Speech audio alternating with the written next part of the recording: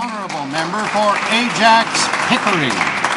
Opening at the end of this year, the Automotive Centre of Excellence on the campus of the University of Ontario Institute of Technology is helping transform Durham into a global centre of research and development. Attracting the best and brightest engineering minds from across the country and around the world, it will drive made in Canada leading edge innovation with a world class learning environment. Among its unique capacities will be one of the world's largest and most sophisticated climatic wind tunnels.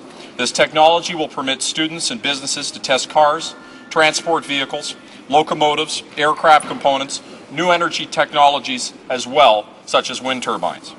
As a member of the previous Liberal government, I am deeply proud of the Beacon project we announced in 2005 that helped make this project a reality, and of the many visionaries who worked tirelessly to bring it to fruition. In touring the new facility, it is clear the Automotive Centre of Excellence will be an engine for jobs, innovation, and opportunity for our community, and a critical part of Durham's future as a global centre for research and development. The honourable member for Langley.